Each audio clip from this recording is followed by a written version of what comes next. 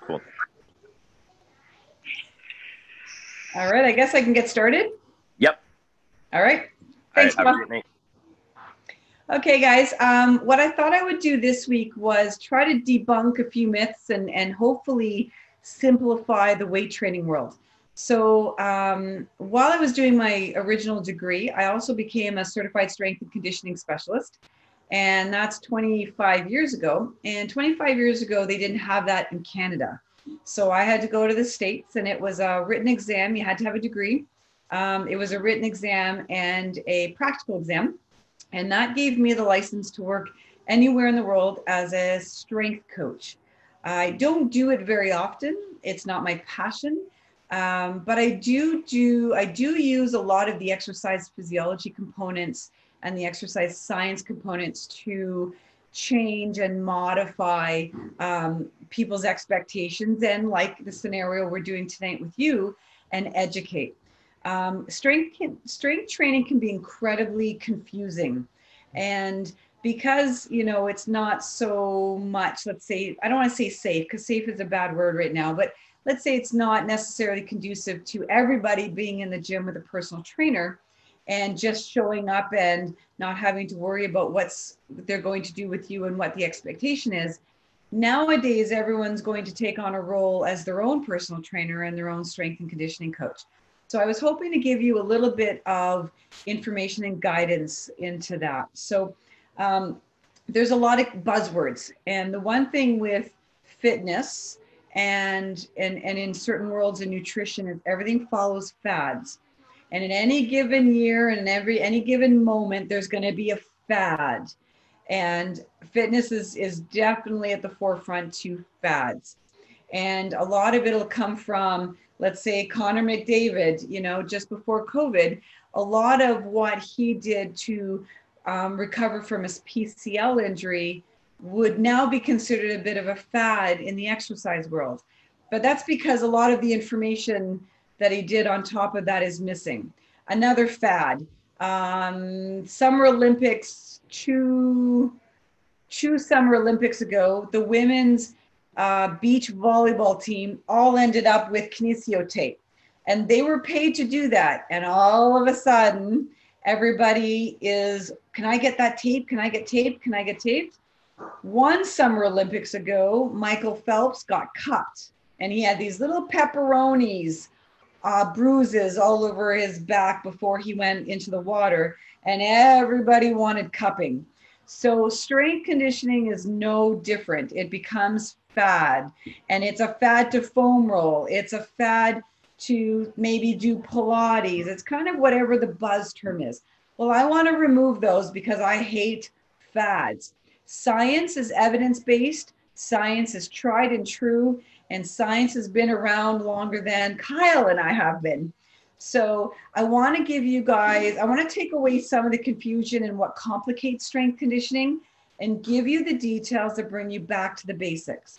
So human evolution has given us five movements. Five. That's it, guys. Five. We push, which is chest and triceps. We pull, which is back and biceps. Okay. So push and pull days. We do a hinge at the hip movement, which is anything that would give you, let's say, an abduction or an extension of the hip. We squat. Okay. Everybody knows what a squat is. And the fifth movement that our body has evolution during evolution has led us to be able to do is a plank.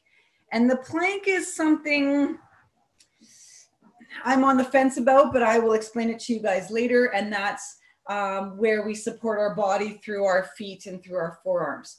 So, five movements. It doesn't matter what type of workout you do, you are going to involve one, two, three, four, five of those movements. And that's something to keep in mind. There are days that we can, you know, workouts that can be considered agonistic, antagonistic we can do supersets, monster sets, negatives. Those, just so you know, regardless of what type or what word you want to use, I always tell my patients, my clients, my athletes, pick a goal. So today I'm only talking about strength. The difference between training power or endurance isn't the movement, it isn't the muscle group, and it certainly isn't the way you repeat those muscle groups in a week. It's simply by reps. So if you do reps of one, two, and three, you're naturally going to do power. If you do reps one, two, three, four, five, six, seven, eight, you're going to do strength. If you do anything over 10 reps, you're naturally going to do endurance.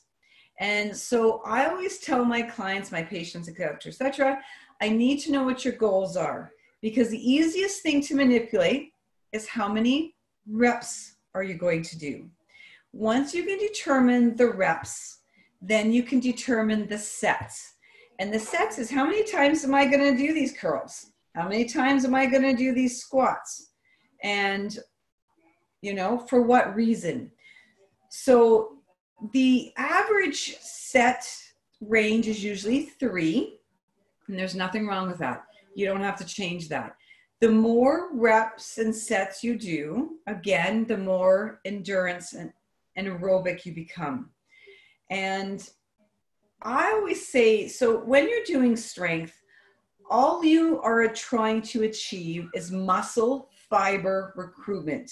There is a million ways to do that. And that's why things get confusing.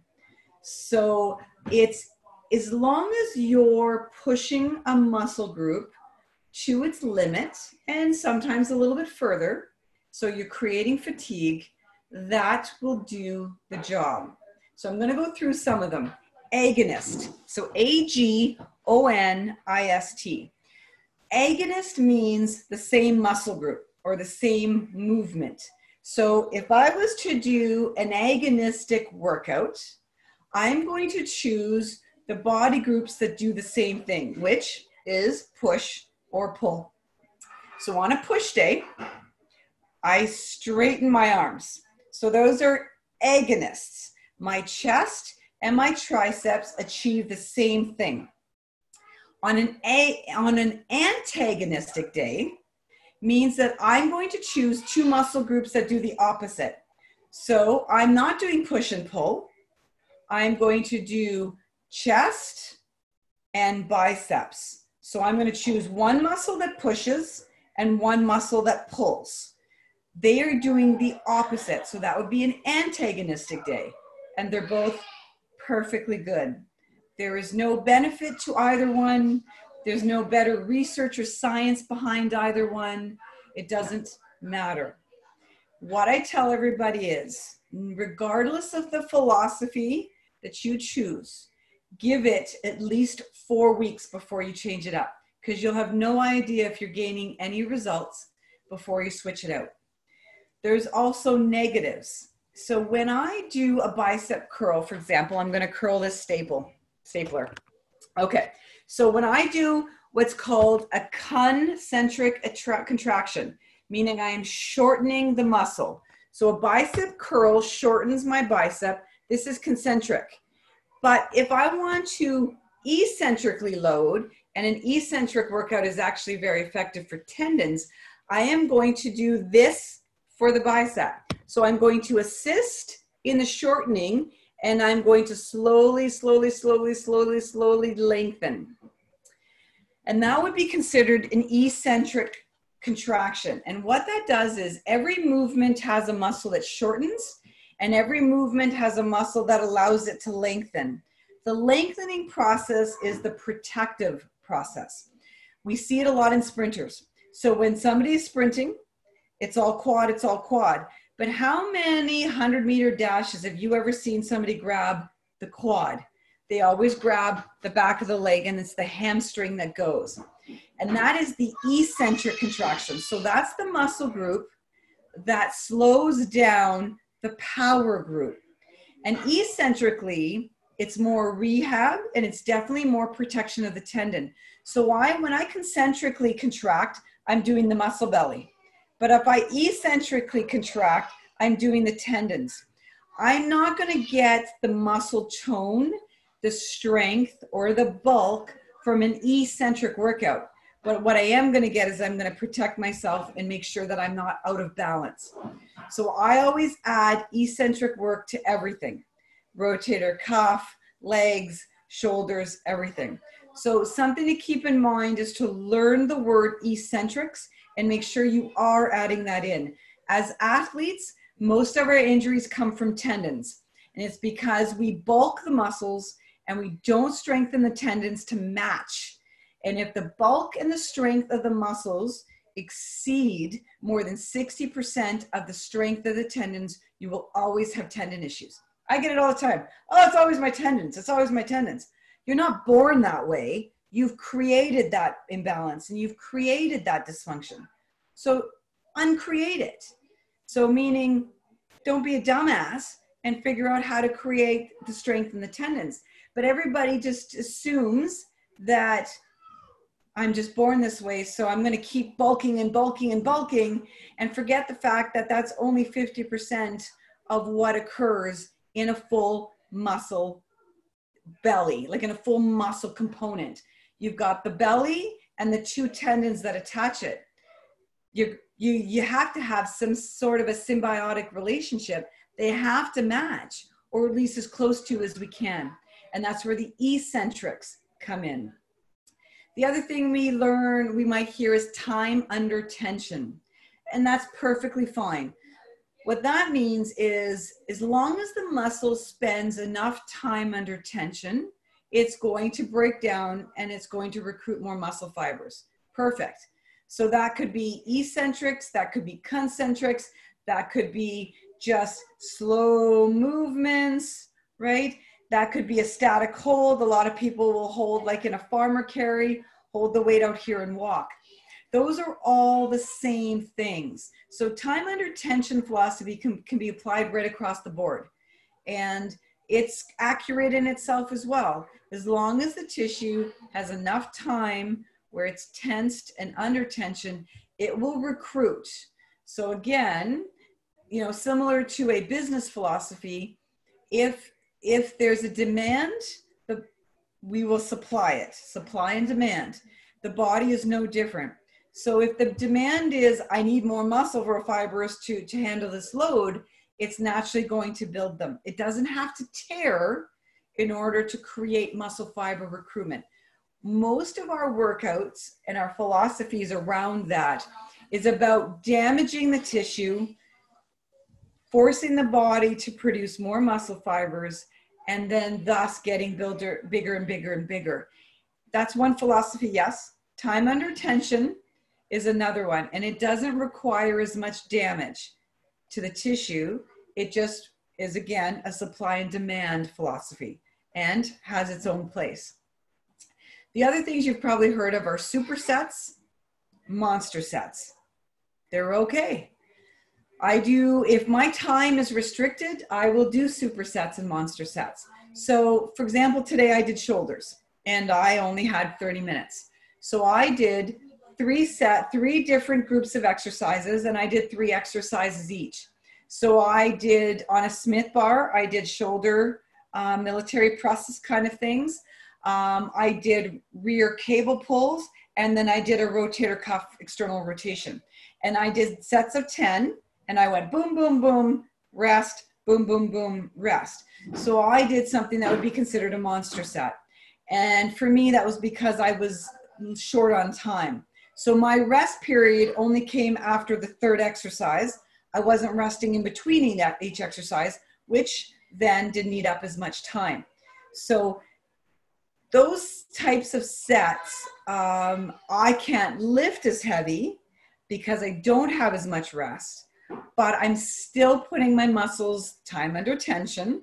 And I got an, a workout in that I otherwise, in any other type of philosophy, could not have gotten in. I'm not, I don't do that often. For me, um, supersets are a little more common, monster sets not so much. It's 100% based on my time restriction. If I have all the time in the world, I will lift, I will have a break, I will lift, I will have a break. And my lifts are typically fairly heavy. So that's kind of like some of the philosophies, you know, so you guys understand any one of them is 100% accurate. Any one of them is 100% effective, and any one of them can be used at any given time. My suggestion is to give it four weeks, pick one philosophy, live by it for four weeks, take everything you can out of it. If you love it and you're getting, you know, you're getting changes, stick with it. If it did nothing for you, change it onto something else. Because you have to remember genetics play a really big role here. And you guys happen to be one, let's say, population of athlete that I can get strength from, but I can't bulk. So long bodies, long muscles, long tendons, so less likely to bulk. But it doesn't mean you can't gain strength. But to find out what philosophy works best may take some playing with. So don't be afraid to mess around and figure out what you like, where you feel maybe the most sore, where you feel the biggest gains. Because just like medicine, where we practice medicine, this is not, uh, you know, written in stone. This is a practice thing as well. We, even as a personal trainer or a strength and conditioning coach, things are figured out as we go and we learn our athletes and find out what things work and what things don't. So the next thing I want to go over is kind of how to put one of these together. Okay, Kim, so great. Now I know what eccentrics is. I'm going to go with time under tension. Great. Now what the hell do I do with that information? So what I want you guys to understand is you need to have a goal and it is incredibly important to have a goal. So Tyler Bertuzzi, strength and conditioning coach, has come up. He's come up twice. And he had a goal in mind. We didn't know what the goal was. So he can't ask the athlete what his weight is, body fat. None, it's, it's not in the off season. A professional athlete is in the off season. The coaching staff, the strength and conditioning staff cannot ask for any of that information until training camp, just so you guys know. However, he still came up and gave us some direction on what he wanted Tyler to do. So the interesting thing was he had a goal, kind of shared it with us, gave us an idea of what goals he wanted Tyler to, to reach without asking Tyler if he's already there. So it's one thing for a strength and conditioning coach to have those goals. But what I found interesting was Tyler, as the athlete, couldn't possibly have the goals because he didn't know what the expectations were. So, with that aside, it's incredibly important that you guys have your goals. Maybe it's to increase your vertical by an inch. Maybe it's to get a bigger chest. Maybe it's to be able to do bicep curls with bigger weight than your girlfriends or your boyfriends. Whatever the goal is, is irrelevant. It's personal and it's individualized. But make sure that when you're making one of these programs up, you know what it is. We always start with a warm up, and the warm up is usually cardio based. Years and years and years ago, our warm up would also involve stretching. We have taken that out for your age group. And we took it out because a lengthened muscle, which I've said before, is a weaker muscle.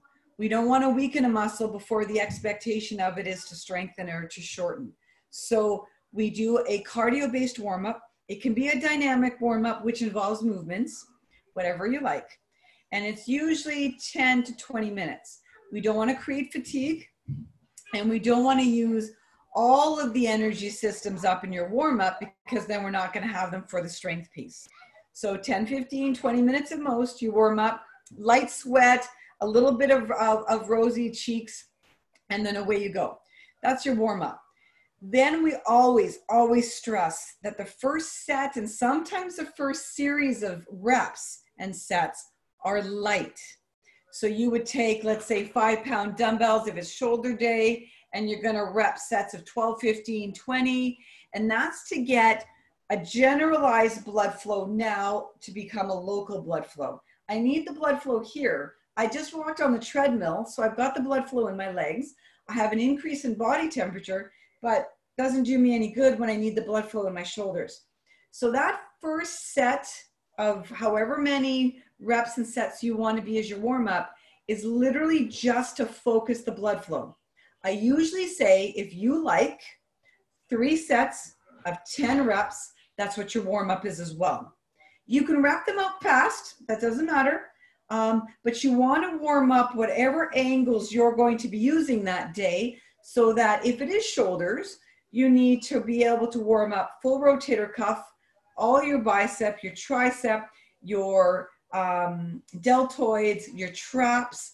So you need to be able to do enough in those three sets of 10 reps in order to warm up the whole shoulder complex. You can't do that in five swings, right?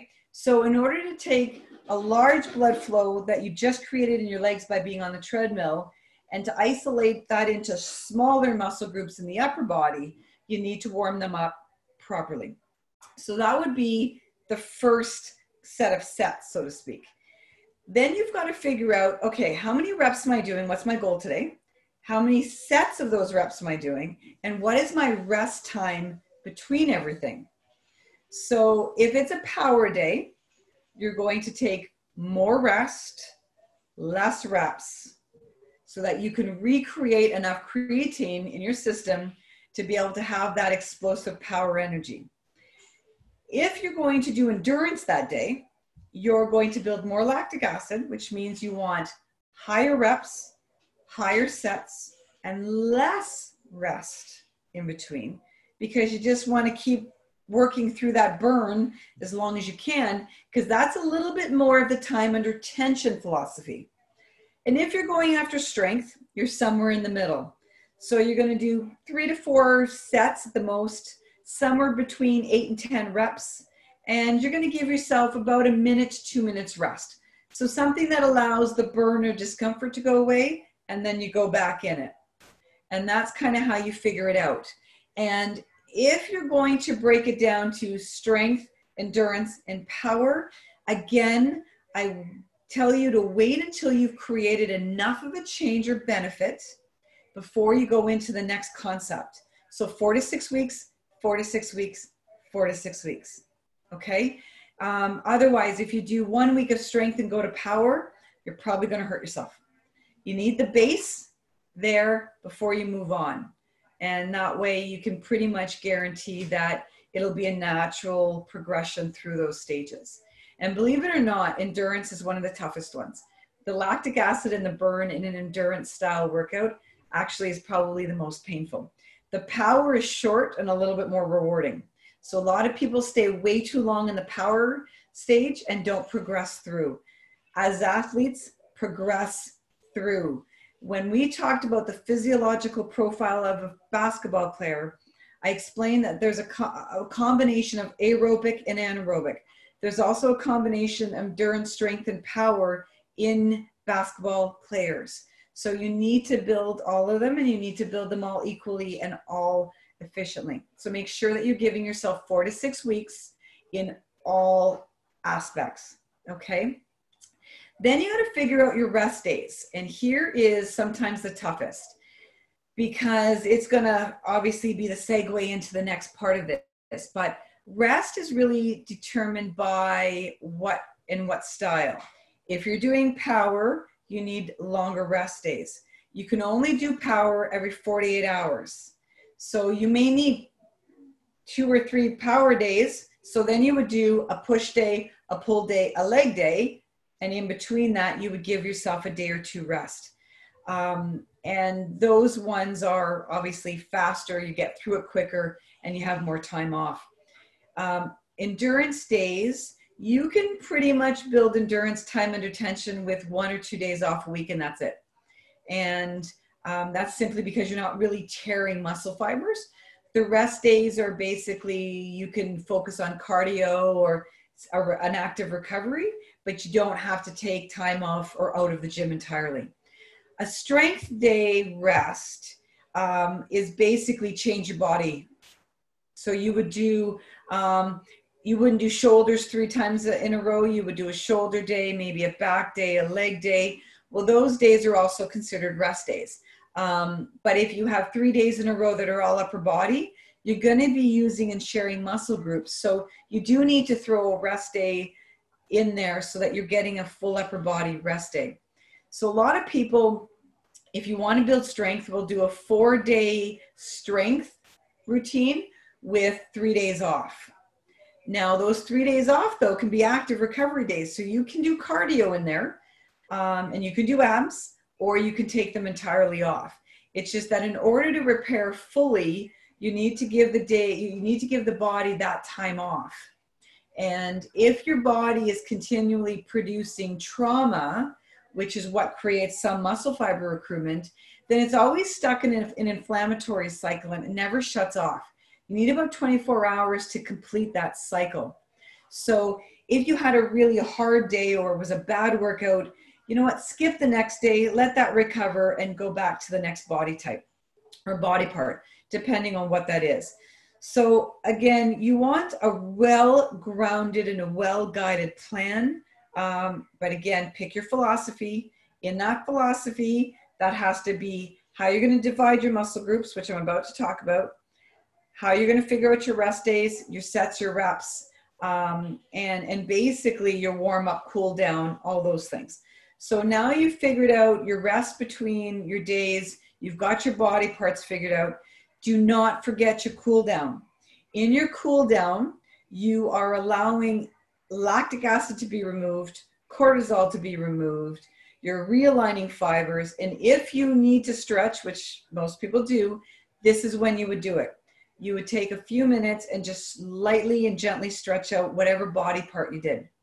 So it's a pretty big program and plan to put into place if you're going to do this well. And you want your work, your warm up, and your cool down to be about 10% of your overall work section, right? So expect that if you're going to work for 40, 45 minutes to an hour, you need about six to eight minutes here and about six to eight minutes here.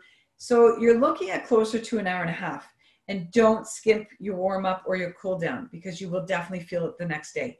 Lactic acid binds with oxygen. If you don't do a cool down and you go and sit, that lactic acid will pool and it will not have an ability until your next warm up day to have enough oxygenated blood to bind and remove from the body. It's a dumping mechanism like any other waste product in the body. You're better off to do it at the end of that workout, get it removed from the system. You'll be less sore, less stiff, and you'll be more prepared for the next day. So that's kind of how you create a program. Here's a few things about what days on what. Now, it's very common where um, some people will go chest and triceps, some people do chest and biceps. Um, you guys can figure out whatever you've got. Again, there is no wrong way to do this. Um, some people, if you want to increase muscle mass, decrease the days of cardio. Cardio, like we talked about with nutrition and energy earlier on in these sessions, if you don't have enough readily available energy, it's not fat we remove and use for energy, it's muscle. If you do too much cardio, you are going to burn muscle for fuel. So keep that in mind. You need to know your goals. If you want to burn fat, you may need to do one hour of cardio every single day. But if you want to put muscle on, be very careful because that counter counterbalances basically what your goals are. And um, me personally, I divide all my days up.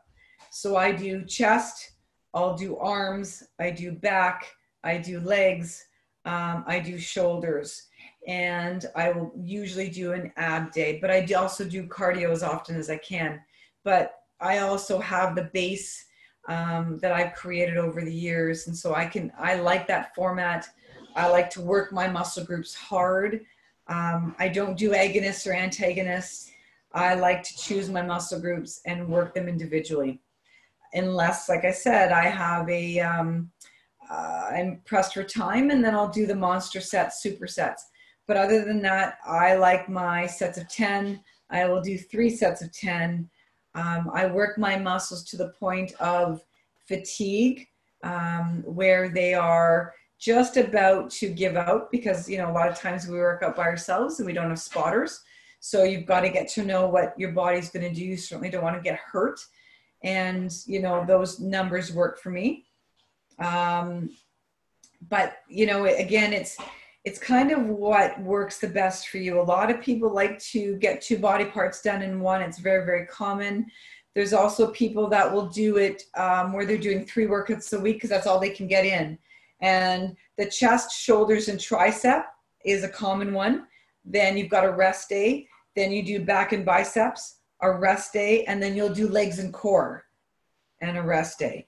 So if anybody, you know, needs help, if you can, you know, get a hold of me, um, let me know what days you can work out and that will then tell me which days are going to be rest days what days are active days what are days with kyle. Like you wouldn't want to train hard maybe on fridays when kyle's going after all the skill development but there's probably days in your week that you guys can train harder. And once you know what body parts require those versus the parts that can just be managed and and and kind of stabilized then we can pick and choose and there's a hundreds of thousands of workouts and exercises. You can Google bodybuilding.com. You can build, uh, you can Google muscle magazines, and they will give you um, lots of options in terms of strength training.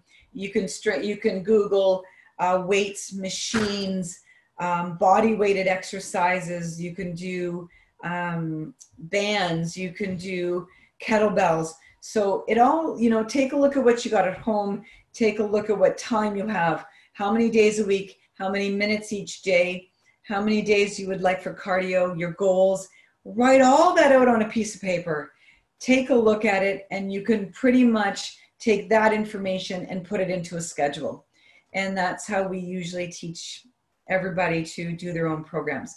And if anybody gets stuck, anybody gets stuck on a buzzword or a fad or just trying to figure out from Google what this means and, and how do I get this goal or understand what this means, email me kim at atrc.ca um, and, and ask those questions. I'd be happy to help you through some of the confusion of the weight training world. And understand there's certain parts of your body that are genetics. Calves are one of them. And so, you know, don't overtrain calves because when they say, you know, they're what your mama gave you, the calves come from your mom. So you're, you know, you can do all the work you want in your calves and they're not going anywhere. They're not going to change. But the rest of the groups, for the most part, can and will change.